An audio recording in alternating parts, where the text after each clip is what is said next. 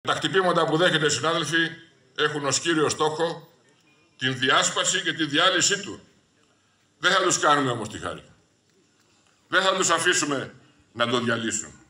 Όσο και αν το θέλουν κάποιοι. Θα μας βρίσκουν μπροστά τους γιατί είμαστε ορκισμένοι να προστατεύουμε τα δικαιώματα των εργαζομένων. Εργάτες ενωμένοι, ποτέ νικημένοι.